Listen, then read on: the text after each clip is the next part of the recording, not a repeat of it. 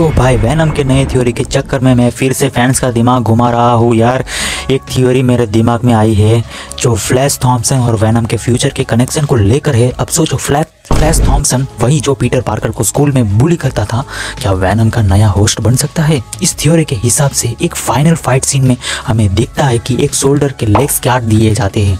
General तभी उस shoulder को थॉमसन बुलाता है। थ्योरी वाले भाइयों का माना है कि फ्लैश थॉमसन ही हो सकता है। कॉमिक में भी तो फ्लैश ने एक वक्त पे वेनम के साथ बॉन्ड किया था और शोल्डर भी बन गया था। कॉमिक्स में फ्लैश थॉमसन एक बड़ा रोल प्ले करता हुआ दिखाई दे सकता है वेनम के साथ।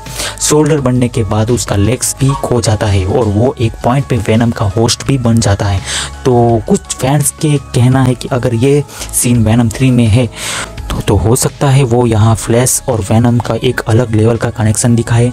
अब बात यहाँ ख़त्म नहीं होती मेरे दोस्तों। अगर फ्लैश वाकई वैनम का होस्ट बनता है तो क्यों उसको नल के आने में भी कोई रोल होगा? थ्योरी के हिसाब से जब तक वैनम एडी ब्रॉक के पास वापस नहीं जाता, नल उसका पीछा नहीं छोड़ने वाला। मतलब फ्लैश का कैरेक्टर और भी इंटेंस बन सकता है वैनम की थ्योरी में। मतलब वैनम की स्टोरी में।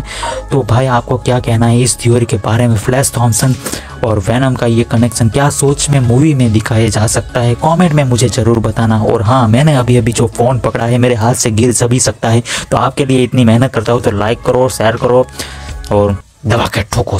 नहीं करना तो आप लोग रील्स ही देखो।